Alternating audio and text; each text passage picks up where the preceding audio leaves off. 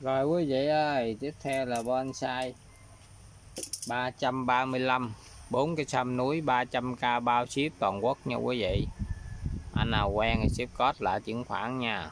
Rồi vậy đây. Cho quý vị coi tỷ lệ nè. Đây một cây nha. Cái này là sâm núi trái nha quý vị. Cái bàn tay tôi là tỷ lệ nha quý vị. Đó.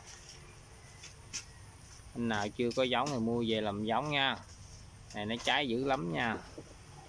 Mấy cái này là quý vị về cắt nước nó là nó ra trái thôi. Trước khi bón cắt nước thì bón cho nó miếng phân.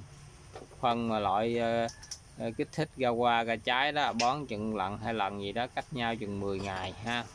Xong rồi đó là bắt đầu bỏ nước khô. Cho nó khô xào lá đi rồi tưới vô lại là nó ra trái dữ lắm nha quý vị. Đây là một cây hai cây còn bình thường mà để nó tốt như vậy nó đâm chồi nhảy tược phát lọc quá trời vậy là nó không có ra trái nổi đâu nha.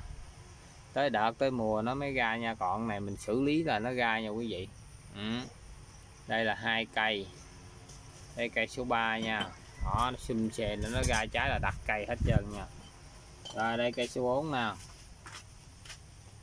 Đó. Bốn cây vậy mà ba xị mà bao ship rồi, rồi bán cho quý vị là được có bốn chục thôi nha quý vị. Rồi xuống đi con ơi. 40 ngàn